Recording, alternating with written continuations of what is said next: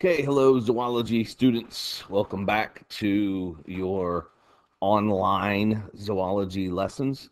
I'm Mr. Grippa. As you well know, we're back here in the man cave getting ready for lesson three. So today we're going to start breaking down our mollusk classification. And the way I have it mapped out is looks as though we are going to be discussing two classes today. We're going to talk about the gastropods and the bivalves. So let's go ahead and get that started. So let's reduce you, let's reduce you, and let's get today's lesson underway. So, uh, mollusk classification. Our first class is going to be class Gastropoda or the gastropods. They are all the snails, slugs, the sea butterflies, sea hares, limpets, and animals called nudibranchs. All right. So let's go ahead and take a look at some of them. so here are your limpets. Let me get here to uh, laser pointer. All right. So these are your limpets right here. Um, again, we talked about, we had some of these on lesson two where we looked at their foot and how they hold down to the substratum.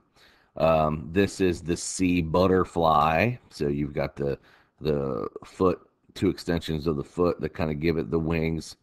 Here you can see the shell. Um, and they are uh, not very commonly seen. I've never seen one. Uh, but you can see how they got the name. The two wings kind of branch out here and kind of give it that butterfly look.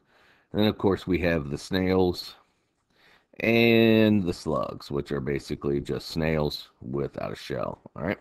So let's talk a little bit more about the gastropods. All right. So by far, gastropods are the largest and most diverse group of mollusks.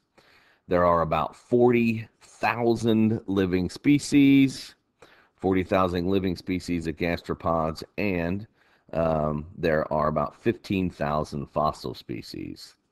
There is not one term that can apply to them all.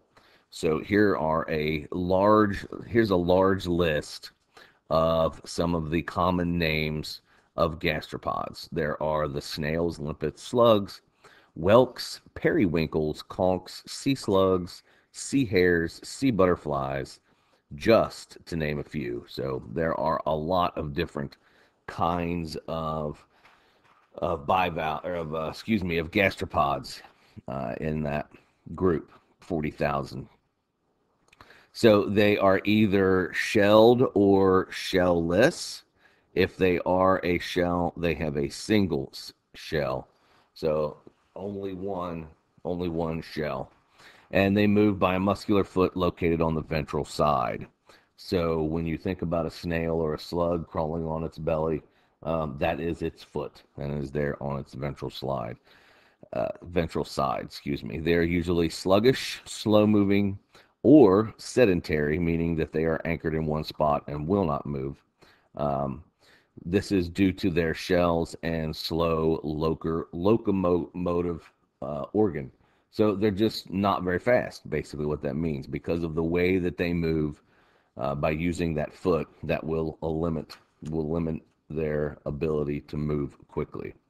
The shell is often always one piece, or as we can sometimes call it, a univalve. Uni for one, valve meaning half, so it just has the one shell and some have an operculum or a plate that covers the shell opening. So if you've ever seen a conch in the ocean, um, they're they kind of resemble really huge snails, but they have a plate that covers the opening. So when they feel threatened, they draw up inside the shell, and then that plate covers the opening so that their soft body is not um, vulnerable to predators.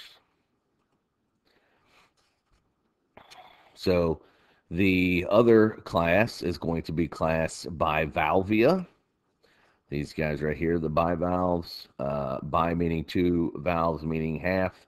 And you can see they are the clams. So here's a giant clam, and you can see the two halves of the shell. They are the mollusks with two shells. They include the mussels, clams, scallops, oysters, and shipworms. They range in size from the tiny seed shell of one to two millimeters in length, which, if you're familiar with the metric system, uh, one to two millimeters is not very big at all. I mean, we're talking uh, maybe the the width of a blade on a pair of scissors. Give you a good idea. Uh, to the giant South Pacific clam, which can be up to three to four feet in length.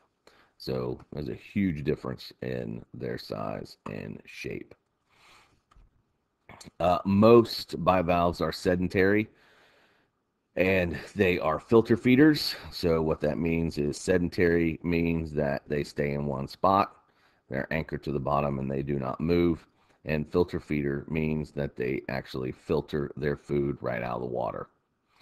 They have no head, they have no radula, and they have very little cephalization. And cephalization means a collection of sensory organs in one end of the body, which, you know, for us would be our head. If you think about our sensory organs, they're almost all located uh, in our head, our, our main sensory organs, our sense of hearing, sense of equilibrium, both in our ears, our sense of smell, our sense of taste, and our sense of vision, all within our head. And that is what cephalization is.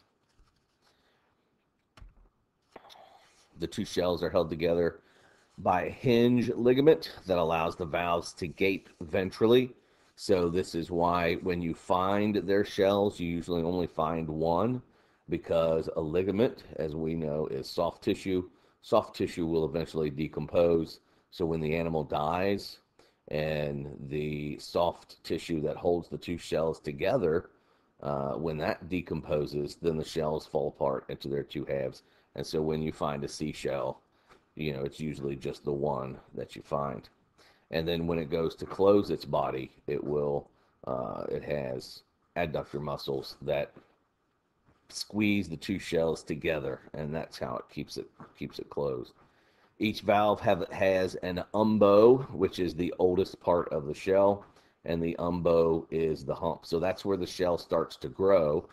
And as the shell grows, the the mantle lays down new shell material on the edge, the outer edge, away from the umbo. So the edge that opens is going to be the youngest part of the shell, and the hinge part of the shell is the oldest part of the show. All right, so let me make sure. Yep, that's our last one. So that uh, is a quickie one there. So go in. That uh, concludes that lesson. So go on in and uh, find the questions that will be on Schoology for today's lesson and uh, answer them. And that will conclude today's fun and exciting, uh, stunning lecture on mollusks and the gastropods and bivalves. So thanks for tuning in, and I'll see you tomorrow.